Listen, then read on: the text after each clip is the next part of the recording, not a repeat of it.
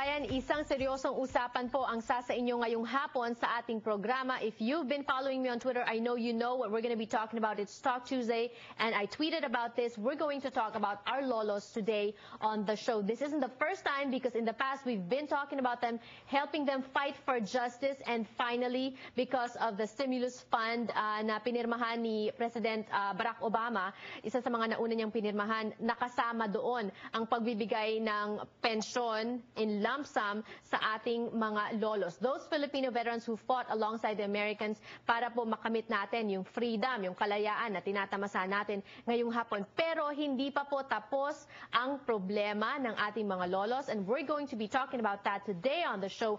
Joining us is Miss Susan uh, uh, Dilks of FASG. Magandang hapon sa iyo, Miss Susan. Magandang hapon naman, Janelle. Welcome back to Kababayan LA and a new face on Kababayan LA nonetheless helping our Kababayans Albert Alpasan. Hello and welcome to Kababayan LA from the Department of Veterans Affairs. Yes, thank you. It's, uh, I'm glad to be here. Let, let's talk about that. First, the statistics. We have a slide for you, and this is not uh, very good news because we will see here behind us, you know, yung mga na-receive na benefits claims na uh, an application is 39,591, and this uh, this covers U.S. citizens and non-U.S. citizens na veterans, correct? That's correct. Ang nag-grant out of that uh, uh, those applications is 11,349.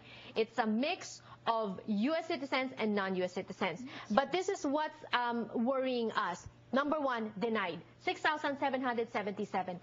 Why were they denied? What is the cause of being denied? Mostly, ang wala ang pangalan nila sa Missouri. And maybe Albert can expand that. Yeah. Yes, uh, Jannelle, that's, yun lang yung, that's the only reason for, for, for denial para sa benefit na to. Uh, we just have to, to, be, to be reminded na since this is a VA benefit, um, the VA is bound by, by law na mag-verify through the National Personnel Record Center um, regarding uh, a veteran's uh, military status. So kailangan meron siyang record sa National Personnel Record Center in St. Louis, Missouri, Uh-huh. um, indicating na yes, he did serve. Right. um, and the question is, this goes a long way back. During World War II ito eh, di ba? So, how accurate are these records and how on the dot were they in preserving these records?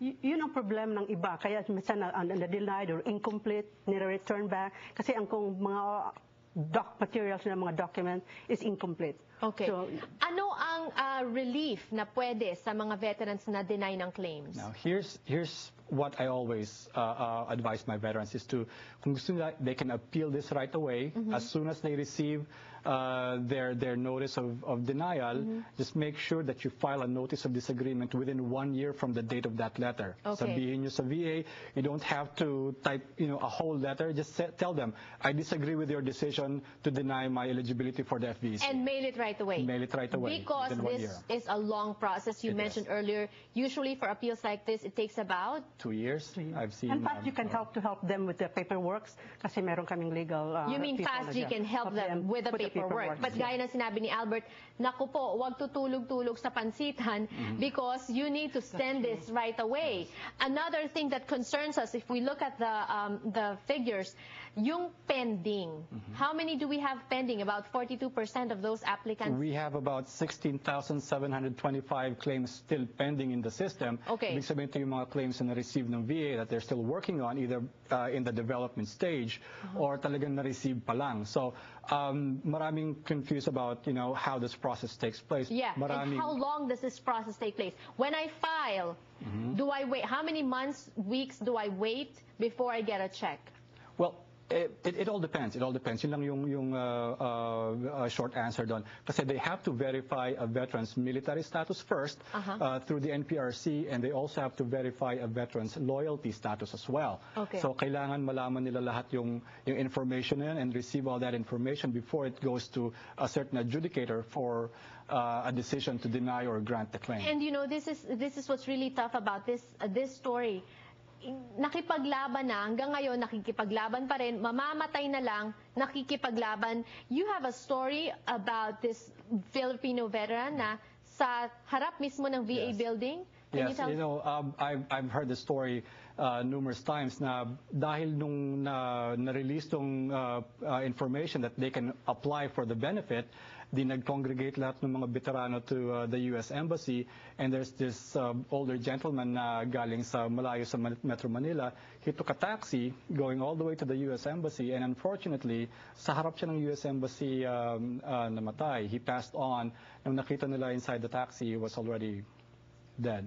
And, and this is not uh, an isolated case because as we will show you later, you will see these old people congregating about this thing, having their meetings under the sun, um, ah, mala- malayong nilalakad. Yung mga veterans dito, I've heard of stories na sasakay ng bus, makikipag-meeting sa FASG. Minsan, hindi na nakababa kasi they forget kung ano yung bus stop nila. You have another story? Yeah, I have another story yung bang hindi sila makakapunta na sa sa PASG or sa veteran. So we have to go to the hospital para i-authorize to fill up the form so, Uh-huh. So they can maka-apply sila. sign. They're They already in the sign. hospital yeah, bed. Yeah, in hospital bed. Pero Alright. kailangan, o yan ang signature nila and then notarized with their witnesses na ganon para at least kung mamatay May- man sila, meron na silang meron, paperwork that, na file. all. All right, and That's that's another story. What if na, nakapagpasa ng application and then they pass away? What happens? Let's talk about that and more here on the show. It's Talk Tuesday. We're going to be opening our phone lines when we return to take on your questions. Don't go away.